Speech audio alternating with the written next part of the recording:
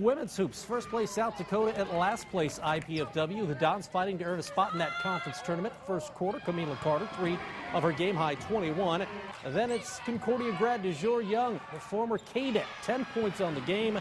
But IPFW struggling from the get-go. South Dakota actually led 23 to 5 after the first quarter as the Dons lose at home 90-63. First round of the